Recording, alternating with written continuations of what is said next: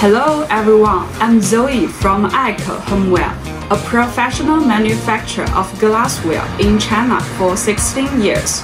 And today I'm going to talk about this diamond wine glass. And this personalized hexagonal design lacks a diamond reflecting luster. And for this special design, it can be placed at upright or at an angle of 30 degrees, just like this. Upright at an angle of 30 degrees. And it is made of pressed glass, which capacity is about 10 ounces. And the most striking feature is its color.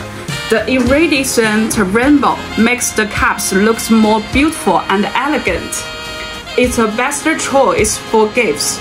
If you like it, welcome to contact us.